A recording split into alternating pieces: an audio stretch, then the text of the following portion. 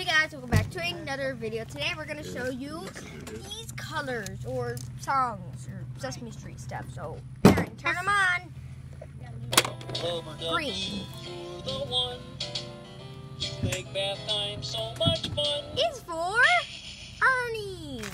Blue Who didn't work? is for Elmo. Orange Who didn't work? Well.